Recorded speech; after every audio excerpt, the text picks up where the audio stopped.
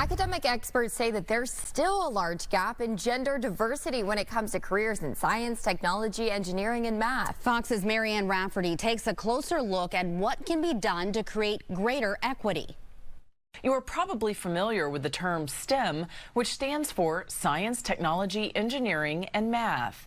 But while these industries have led to some of the most important inventions in the world, a growing number of academic professionals believe a lack of gender diversity in STEM could hinder our ability to make new discoveries in the future.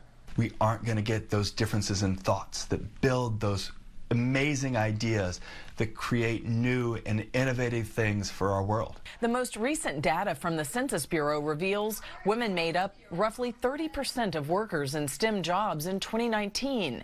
And while that's up from the 8% of women in STEM back in 1970, researchers say there's a lot more room for growth. But getting them hooked on STEM needs to happen at a young age. By the time females reach eighth grade, they either like STEM or they don't.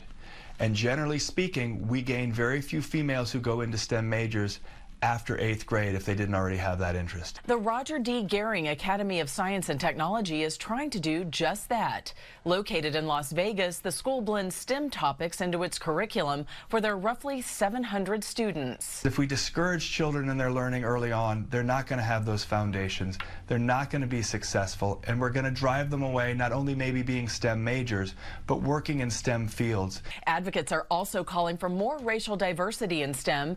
Data from the Pew Research Research Center finds black and Hispanic people are severely underrepresented in those fields.